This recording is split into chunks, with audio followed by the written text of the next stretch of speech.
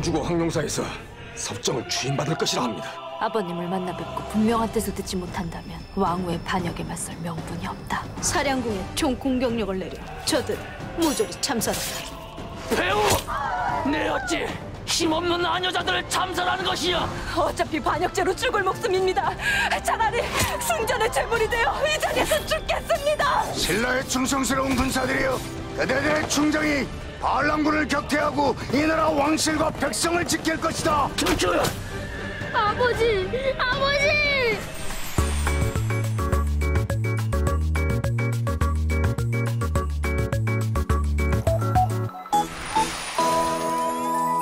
KBS World.